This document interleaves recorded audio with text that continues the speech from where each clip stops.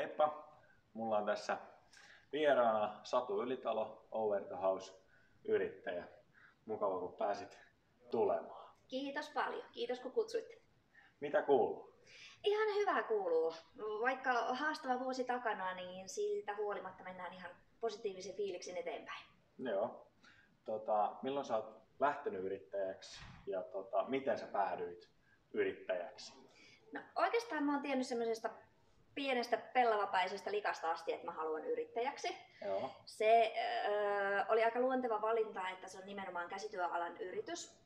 Että mä oon ensimmäiset villasukat jo kutonut ennen kuin mä oon kouluun mennyt. Että käsityöt on aina ollut semmoinen tärkeä osa mun elämää. Ja, ja tuota, jotenkin vaan viime vuonna 2019 alkuvuodesta rupesi tuntumaan siltä, että nyt tai ei koskaan. Ja mä Suomen yrittäjäopistoon ilmoittauduin mä halusin tuon yrittäjän ammattitutkinnon suorittaa.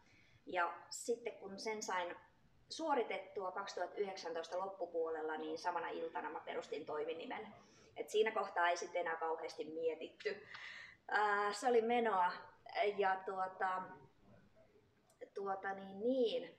Ää, Over the Househan on siis käsityöalan yritys, jossa mä suunnittelen ja valmistan tuotteita pääasiassa ompelemalla naisille ja vauvoille. Että alussa yritykseen kuului naisten kollegepuserot ja sitten tuota, kauniit kestävät kangaskassit. Ja nyt on valikoima sitten laajentunut, että nykyään on kukkaroja ja ähm, puuhelmistä löytyy koruja. Sitten on näitä kangaskassien semmosia tekevälle semmoisia tee itse paketteja. Vauvoille löytyy pussilakanasettiä, on tulossa tilkkupeittoja oikeastaan kaikkea semmoista, että mitä pystyy just nimenomaan ompelemalla valmistamaan ja on semmoisia mun yrityksen näköisiä tuotteita. Joo. Ja tuota niin, mm, kauniit kalkkaat inspiroi, se idea siihen tuotteeseen voi tulla oikeastaan ihan mistä vaan, vaikka ihan maassa olevasta syksyn lehdestä ja se, että mä haluan, että tuotteet kestää aikaa. Ja. Että ne on sitä kautta sitten ekologisia, kun ne ei ole mitään yhden sesongin juttuja, vaan kestävistä, hyvin, hyvin valituista materiaaleista. Joo, kyllä. Ja tuota, niin. Sä myyt ilmeisesti verkkokaupassa. Joo, kyllä. Joo. Mä silloin loppuvuodesta rupesin ensin itse tuota, pistämään sitä verkkokauppaa pystyyn. Mä ajattelin, että mä siitä suoriudun.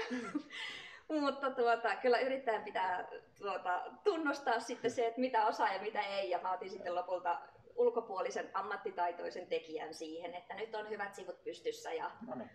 ja tuota, niin, sieltä, sieltä tosiaan tuotteita löytyy ja nyt niitä on itse helppo päivittää, kun siellä on ammattilainen to- toteuttanut ne.